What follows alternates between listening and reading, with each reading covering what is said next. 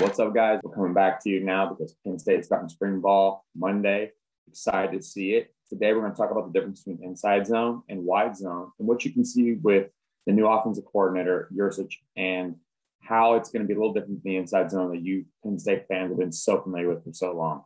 All I ask, guys, hit the subscribe button, hit like, hit notifications on For the Blogy, the website for theblogy.com, YouTube for the Blogy. Let's have a great day. Can't wait to talk some Penn State ball been too long. Here we go.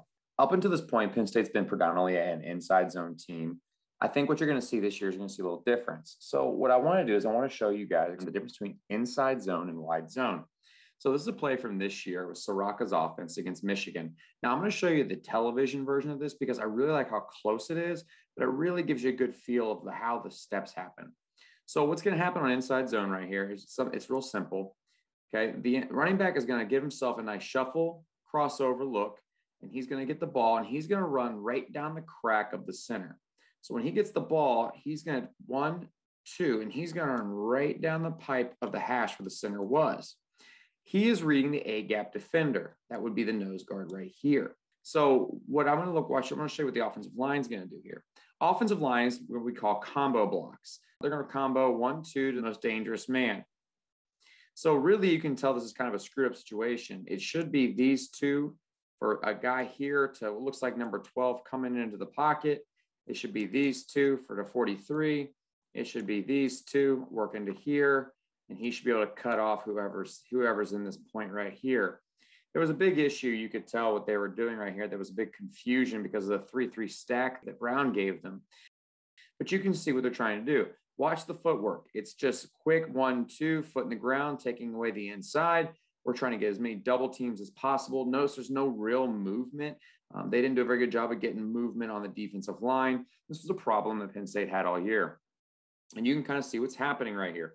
Watch the running back, one, two, three. He's going to put his foot in the ground and he's going to get behind that defense and he's going to squirt himself in for a big play. Now, inside zone, this is a great play.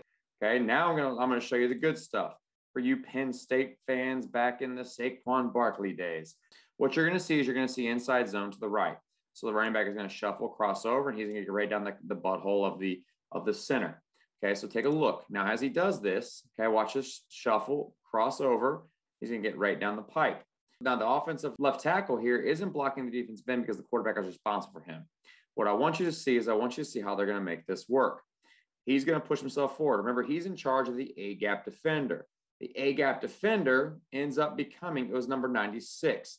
Number 96 gets washed by, so he puts his foot in the ground and he gets vertical behind it. Watch. One, two, three, puts his foot in the ground and he gets vertical. Guys, what Saquon Barkley did with this offense was special. He is a once in a generation lifetime performer. The speed, the control, the power, I mean, just watch what he did. Oh, guys, there's a reason why he's a freak of nature. And there's a reason why Penn State won games the way they won them when he was on the field. That is just unnecessarily awesome how he did it. But you see how inside zones is an inside hitting play that's going to have the opportunity to bend back. Okay. But I want you to see something. Watch where the running back bends back. He bends back exactly where the center was, right at the point of attack. Now you're going to watch another clip of Saquon Barkley running inside zone, this time against Purdue. You're going to get a solo here. You're going to get a combo here to here. Okay. You're going to get a combo here to here. You're going to kick this kid. Okay. Running back is going to shuffle crossover. He's going to get down the butt crack of the center. And what you're going to look for right here is you're going to watch how he's going to read the A gap defender. Notice the A gap defender is going to be this guy right here. A gap defender gets pushed and comes up the field. So the running back's got to put his foot in the ground and he's got to get behind that whole thing. Now, the difference between Saquon Barkley and every other running back in America, watch how he puts his foot in the ground. Most of them are just going to push forward and just put their head down right here and try to get three yards. Saquon decides he's going to jump cut, go outside, and outrun the entire Purdue football team. Guys, they had this thing corralled. They brought a safety in late. They had eight guys in the box, and there's nothing they could do to fit this. This was absolutely a great play, but this is inside zone. I want you guys to see how it works. So now I'm going to show you a little bit of the wide zone. This is Yurcich when he was at Oklahoma State, and I want you to kind of see what's happening. This play is a little bit of a wrinkle. Okay, there's a difference. Normally on inside zone, the running back is going to shuffle and cross over, and he's going to aim at the butt crack of the center. Now, what the running back is going to do is he's going to do what's called a rocker step. He's going to take that back foot and he's going to rocker and turn his shoulders on a path. His path is going to be the inside foot of a ghost tight end. So if there's no tight end there, he's going to run at this point right here for five steps. He is never going to veer off of this path to go wider than he needs to go to run wide zone. The idea behind this play is not to capture the edge, it's to push it.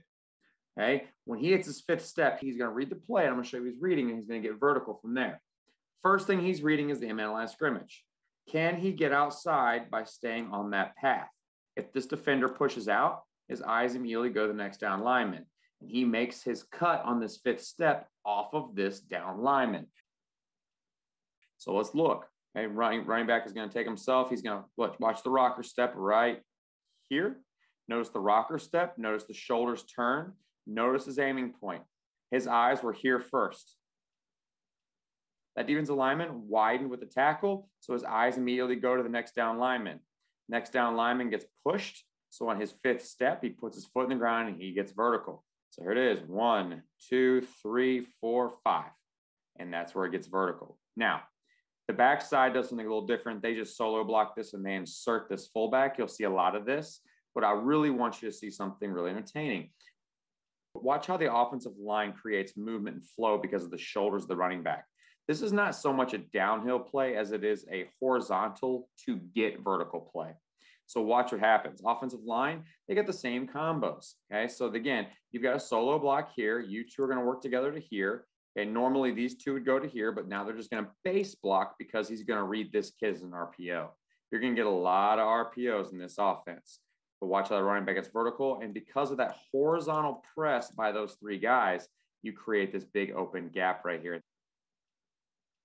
Okay, now you're to go pit. I want you to see what's happening. This is going to be wide zone to the right.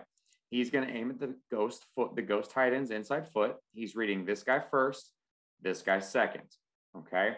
Now, how they played this was a little different. They insert this little B back right here, and Penn State fans should be very happy that those little B back tight end H backs are going to be widely used in this offense. Now, watch what happens. They're going to press out to this right now. He's going to get a wash. You're going to insert this kid to the strong safety. You've got a combo to here. You've got a combo to here. Running back shoulders are turned. Remember the rules we talked about. First read, second read. So his first read tells him he's not going to go outside. His second read gets hooked. So, but he's still going to stay on his path for five, and he's going to get vertical right off of it right now. That is the path of wide zone. Remember, whatever happens is he's going to cut this thing. He's going to cut off of that center. Wherever that center ends up is where he's going to cut in this ball. Watch it get his foot in the ground, and now you see wide zone. It's a slower developing play than inside zone, but it allows for an offensive line that may not be as big and powerful as uh, maybe most Big Ten lines are, allows them to get vertical as much as possible. Guys, I'm excited about what Penn State's going to do. They're going to run the wide zone with RPOs.